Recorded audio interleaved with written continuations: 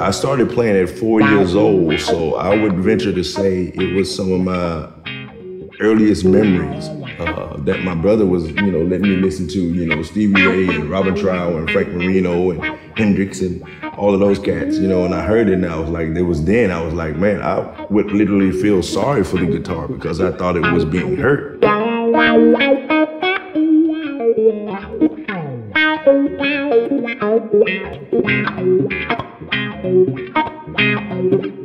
You know, it's inevitable. You see it. Anybody that's an average layman can notice that there's something emotional going on with me when I play. I mean, it's just, I can't help it. Being that I'm that, having said that, you know, it's different, you know, tones that can come out of when I kick the wah wah on that helps enhance the emotion that I'm channeling out even more.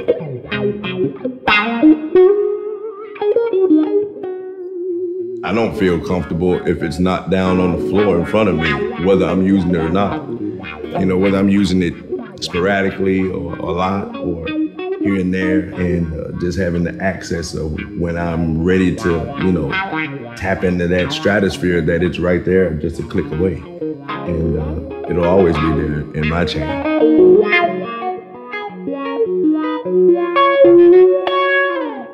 Yeah.